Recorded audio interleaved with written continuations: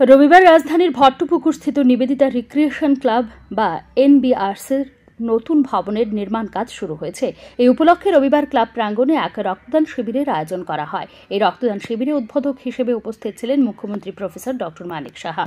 অনুষ্ঠানে রক্তদাতাদের অভিনন্দন জানান তিনি। পরে বক্তব্য রাখতে গিয়ে মুখ্যমন্ত্রী রাজ্যের বর্তমান সময়ে ক্লাবগুলির সামাজিক কাজকর্মের প্রশংসা করেন।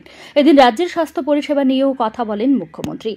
তিনি জানান, প্রধানমন্ত্রীর আয়ুষ্মান ভারত প্রকল্পে রাজ্যের তেরো লক্ষ লোককে আয়ুষ্মান কার্ড প্রদান করা হয়েছে। এক্ষেত্রে আরও চার দশমিক সাত পাঁচ লক্ষ লোক রয়েছে যারা আয়ুষ্মান কার্ড পাননি।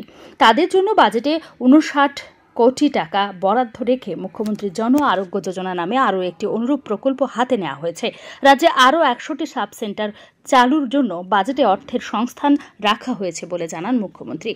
তিনি বলেন, রাজ্য সরকার রাজ্যের স্বাস্থ্য ব্যবস্থা সুদৃঢ় করার লক্ষ্যকে সামনে রেখে কাজ করে চলেছে। এই অনুষ্ঠানে উপস্থিত ছিলেন স্থানীয় কাউন্সিলর অভিজিৎ মল্লিক, বিশিষ্ট সমাজসেবী সঞ্জয় সাহা, আগরতলা পৌর নিগমের মেয়র দীপক মজুমদার সহ অন্যান্যরা। ভালো না। একটা যে কোনো সমাজের জন্য আমরা we should be always united খালি যখন অ্যাটাক করবে, তখন আমরা ইউনাইটেড হব, সেটা যেন এটা এটা কিন্তু একটা ক্লাব বা পাড়ার মতো এটা প্রাসঙ্গিক।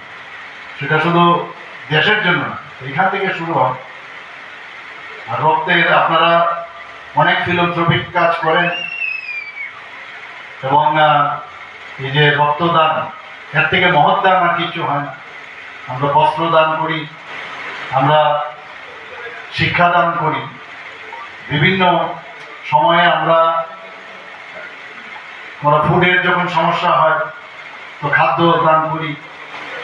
এবং এখন চক্ষু দানও হয়, লিভার দানও হয়, কিডনি দানও হয়, কিন্তু রক্তদানের উপর কিছু রক্ত এমন এক জিনিস যার কোনো রঙও হয় না, কোনো ধর্ম হয় না। এবং আমরা রক্তের মাধ্যমে নিজের পরিচয়ও কিন্তু আমরা পাই ব্যুরো রিপোর্ট সংবাদ তিনশো পঁয়ষট্টি দিন।